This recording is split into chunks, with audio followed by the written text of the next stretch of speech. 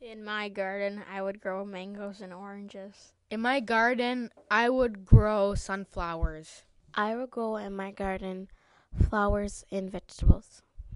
In my garden, I would grow tomatoes, lettuce, and broccoli. Maybe we will plant our own garden. My grandparents were farmers, and so I would spend the summers with them, and they always had huge gardens. And so part of what I did when I was with them was help with the gardens, and we'd go out and pick things and pull the weeds and water. And so I learned a lot about gardening from my grandparents.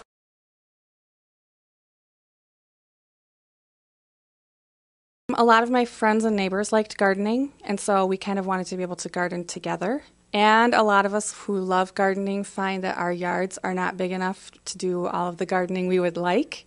So we'd like extra garden space, or like my yard is all shade, so it doesn't grow vegetables very well because you need sun for vegetables.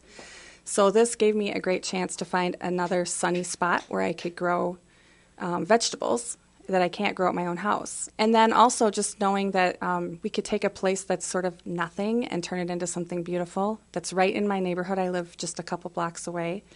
Um, so to make a beautiful place for me and for my kids and for my neighbors to enjoy, um, I, I love that idea too. We wanted to know about gardens on the east side. We wanted to know who had gardens and what kind of gardens they had. We wanted to know who had gardens in the past. We wanted to know what they grew and how they grew it. We learned that there are many types of gardens on the east side. Welcome to Phalen Community Garden. This is part of District 2 Community Council's three community gardens that we have. And this community garden here uh, was established in 1996 with a lot of the residents of Roosevelt um, uh, public housing here, a lot of the elders and uh, they have no yard and they want to garden and most of them are Hmong elders. And so when uh, the armory national guard armories here have this place all it was was just a field of trash sofas beds mattresses tires trash loads and loads and loads were pulled and hauled out of here uh, back then and so when they cleared the ground, uh, they brought in soil. So there, there, uh, there, there are 53 plots. So 53 elder, uh, mostly elder seniors, come in here and they grow uh, food that they like to eat in the traditional Hmong uh, culture that they like to grow. Look at these beautiful big cabbages. This garden here do not have water access.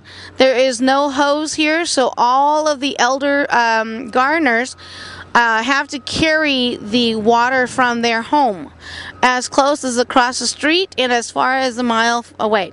And in the garden here, everything is used and recycled. This is a a gate, you know, from a baby's crib. Look here. Look at this beautiful bamboo uh, for stake and post. So things are being recycled here in this garden. Well, we have seven gardens throughout the east side of um, St. Paul. Um, well, in the gardens, we usually weed, take out weeds. Um, we water the plants, and on Thursdays, we harvest for CSA.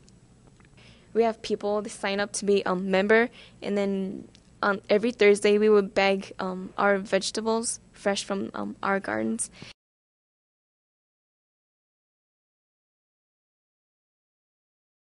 Our parents seem to know the seasons. In the spring, they couldn't wait to pick the early dandelions, the early asparagus, the rub.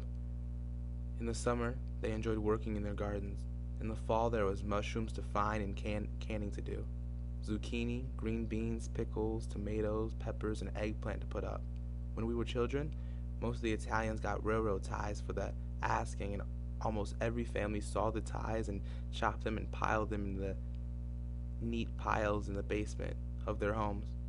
We never suffered from the cold. I can remember in the fall of the year the contented look on their face as the Italian parents as they su- surveyed the rows of piled wood. The shelves of the basement nearly full of canned goods, the potato bins f- filled to capacity, and times fresh homemade sausages hanging in the attic to dry. They took pride in the fact that the vegetables canned had been grown in their own little gardens.